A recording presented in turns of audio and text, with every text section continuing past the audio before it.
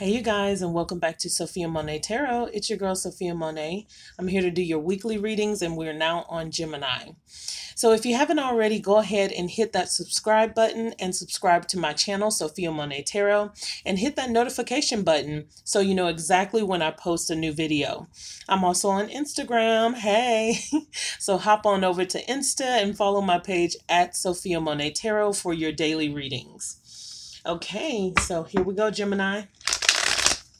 This is for Gemini, Sun, Moon, Rising, Venus, Mars, and Jupiter. Divine Spirit, Holy Spirit, Holy Angels. If I can get the cards right.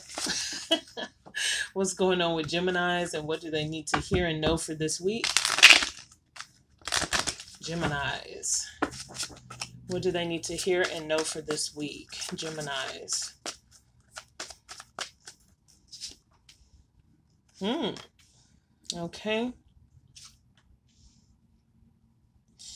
Wow, there's a lot of purple here. There's a lot of purple. So there's definitely a strong feeling of you, like almost like a, a regalness about you. There's something where it's like you're you're evolving into a better person. You're coming into a knowing of yourself, a higher knowing of who you are this week. Okay. So I just kind of want to start off with that we have the shadow card here. So this is like the moon card in traditional tarot. So you may have recently dealt with some fears or anxiety um, emotionally. You may have been dealing with some emotions that have just been kind of lying dormant under the surface. Um, there's also a quietness about you this week where you may just be quiet about your emotions and you're seeing yourself for who you really are. If you kind of look at this card, it's almost like a man looking at himself. He's looking at himself and kind of passing the baton to himself. So I feel like you're doing some self reflection this week, okay? With the awareness card here, you are definitely aware of who you are, self awareness this week and you are manifesting something in your life. And I feel like it's something great because right behind that, we have the third eye chakra. So definitely being enlightened, okay? You are being enlightened. Some something is being illuminated this week and you are coming like I said into a knowing of yourself maybe like you've never had before or you haven't experienced in a long time. At the bottom of the deck, we have passion ignited. So your passions could be ignited this week for yourself, for your career. Some of you just knowing what you want to do for your career, career changes, career moves. Some of you, a passion is ignited for a lover this week. Okay. So it'll, of course, this is a general reading, so it'll be different for every uh, Gemini. But yeah, I feel like a lot of you are trying to find balance Hmm. Some of you may be some of you may be looking at a new lover with like a side eye, okay? okay. Some of you may not trust a new lover, even though your passions may be ignited for this pe- these people. it may be a bunch of people, but your passion may be ignited for a certain person. You may not be as trusting of a new person or a new situation. Some of you are still healing. So take it easy or take it slow if a new person is in your life as far as a romantic interest. But let's clarify these cards.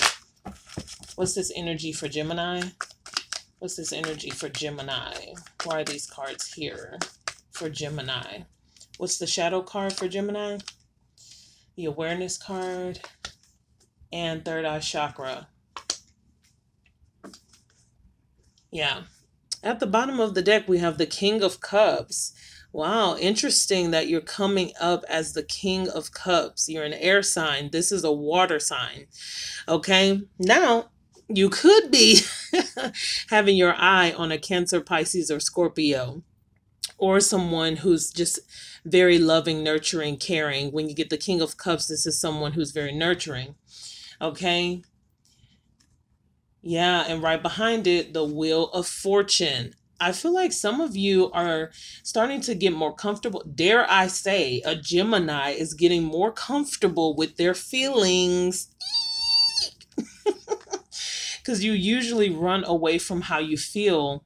But I feel like some of you are starting to open up with how you feel. Okay.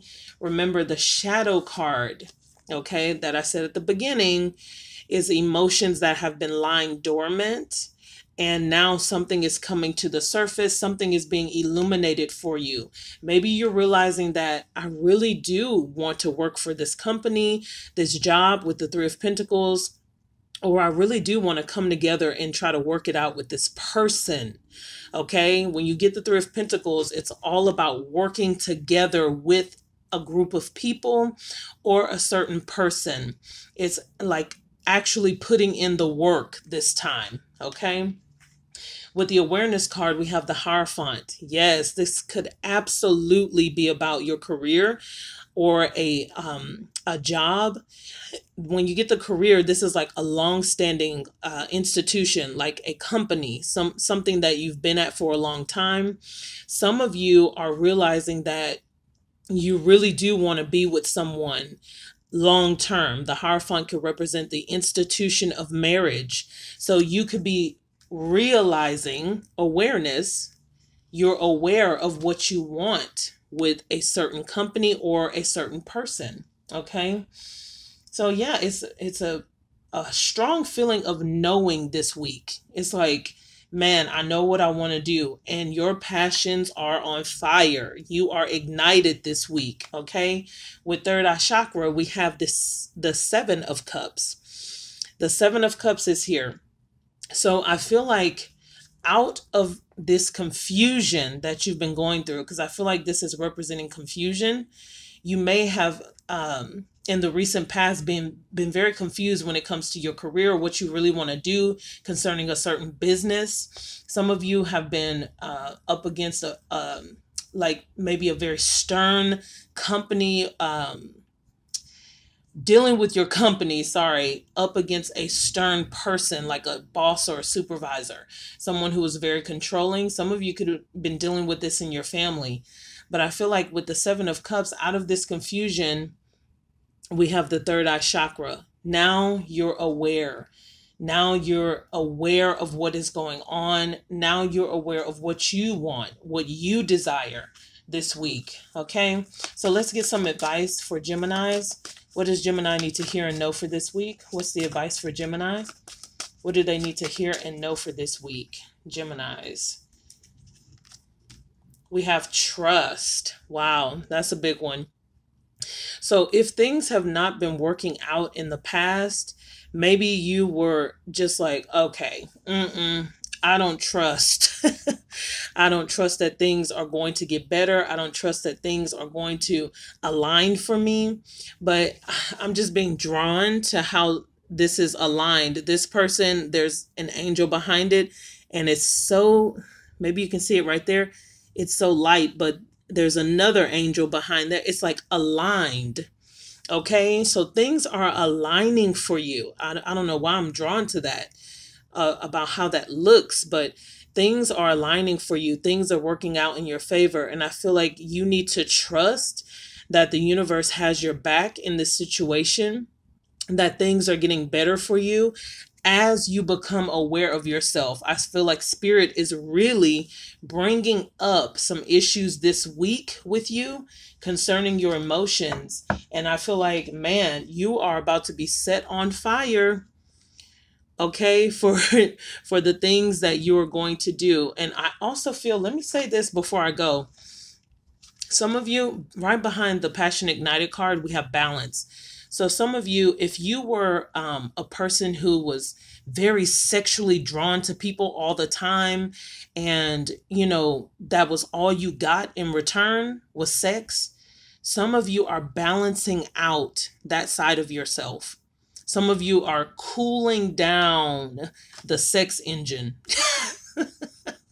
Some of you are learning to balance out your sexual side and your emotions. So you're learning to kind of temper it off and learning that it's not always about sex. that your emotions are important as well. Okay. Alrighty, Gemini. So don't forget to like this video, share this video, and subscribe to my channel, Sophiamonay Tarot. I look forward to hearing from you, Gemini. Have a great week. Bye.